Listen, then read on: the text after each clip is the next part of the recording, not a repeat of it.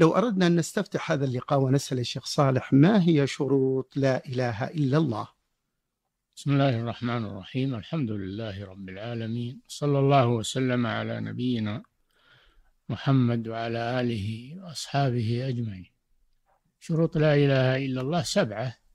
نظمها بعضهم بقوله علم يقين وإخلاص وصدقك مع محبة وانقياد والقبول لها.